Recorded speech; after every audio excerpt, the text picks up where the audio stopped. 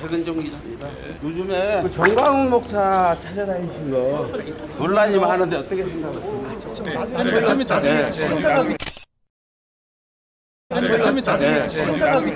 반스 목사라고 그렇게 하던데 그 부분에 해명 한번 해보세요. 어떤 장관직 요청하셨습니까? 황교안 대표님, 정광훈 목사한테 어떤 장관직 요청하셨나요? 김광훈 목사와 이 자유한국당 황교안 대표 사이에 정치적 거래로까지 의심되는 발언도 나왔습니다. 근데 장로님이 엉뚱하게 나한테 이런 질문을 해요. 목사님 혹시 내가 대통령이면 목사님도 장관 한번 하실래요? 아이씨 정말 그런 소리 하고 앉아서 정말 한 내가 장관 같은 거 하려고 내가 이런 줄 알아. 일단 신도들에게 정광훈 목사가 저렇게 얘기한 것은 사실이고 그러면 황교안 대표가 전광훈 목사에게 저 얘기를 했냐가 문제인데요. 정광훈 목사한테 어떤 장관직 요청하셨나요? 예? 아니 지금 기독교계에서도 배척 아니 지금 기독교계에서도 배척 황교안 대표는 한 적이 없다라고 부인했습니다. 예. 일단 전한 사람이 있고 말한 사람은 아니라고 하기 때문에 둘 중 한 명은 어, 사실과 다른 얘기를 하는 셈입니다. 그러네요. 아니 지금 기독교계에서도 배척당한 전광훈에 대해서 장관직 어떤 장관직을 요청했는지 끝나고 나서 질문하시라니까 지금 회사장 늦으셨잖아요. 아니 물어봐야지 국민이 지금 중요.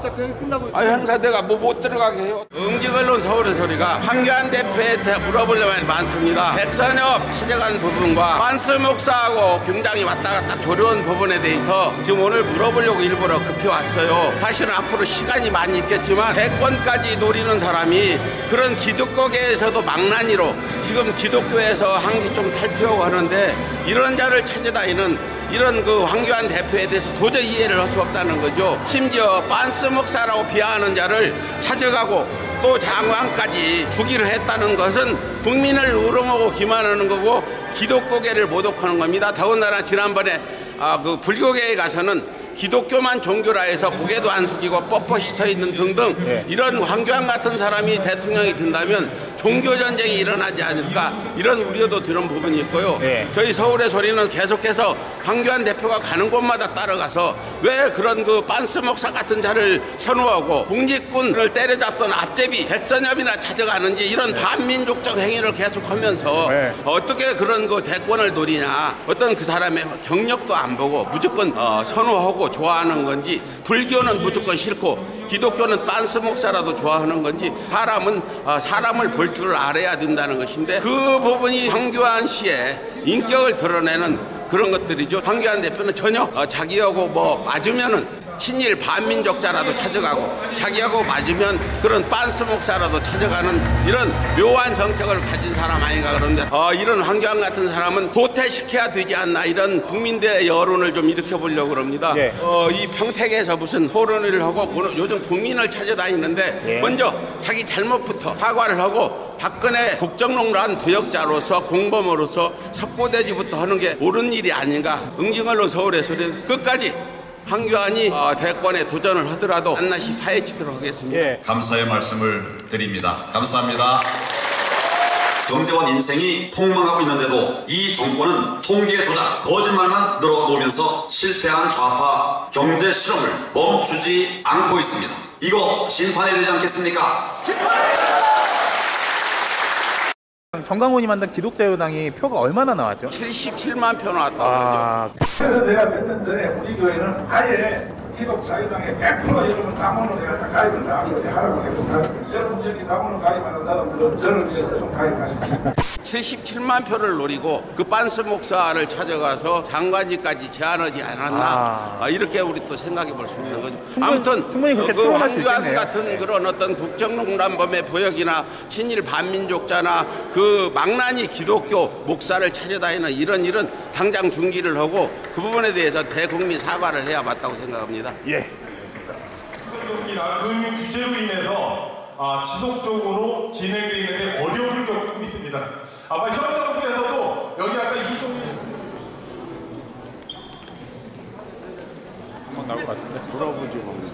꼭 백선엽도 물어보고 정광훈 뭐 물어볼 거고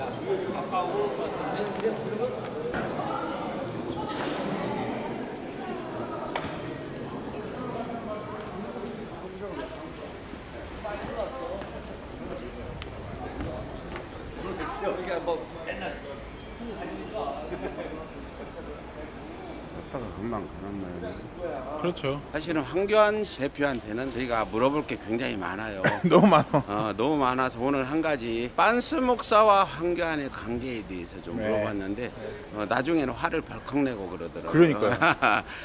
아니 지금 기독교계에서도 네. 배척 어, 아, 굉장히 찔리나 봐요. 그 빤스 목사가 지난번 총선에서 얻은 77만 표를 욕심을 내 가지고 표만이 있으면 어디나 간다. 네. 아, 백선엽 일제 앞잡이도 찾아가고 빤스 목사도 찾아가고 박근혜 정권 때 황교화료라고 부르고 했잖아요. 예. 이런 교활한 사람 어, 표 있으니까 또 불교 행사에도 갔다가 또 합장도 안 하고 불교계 사람들한테 물러나라 소리 듣고 예. 이런 상황이지 않아요. 과연 이렇게 뭔가 자기 이익이 있으면 어, 물불을 가리지 않는 공정어지 묻은 사람이 무슨 어, 제1야당 대표를 넘어서 대통령까지 노리는데 아무튼 서울의 소리는 시간 맞습니다. 총선까지도 지금 10개월 남았고 예. 어, 대선은 한 3년 남았는데 어, 한결 검증에 어, 최선을 노력을 해서 네. 낱낱이 어, 황교안의 그 아들 무슨 취업 비리 등등도 있다는데 오늘 다 해버리면 재미없으니까 예. 어, 차차 하겠습니다. 예. 네.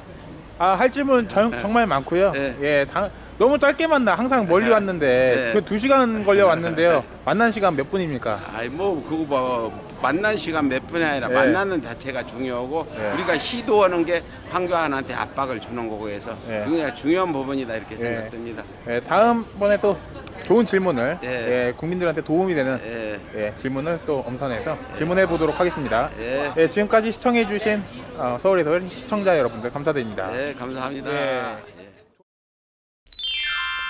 여러분의 자발적인 후원이 서울의 소리에 큰 힘이 됩니다. 1877-1590 1877-1590 감사합니다.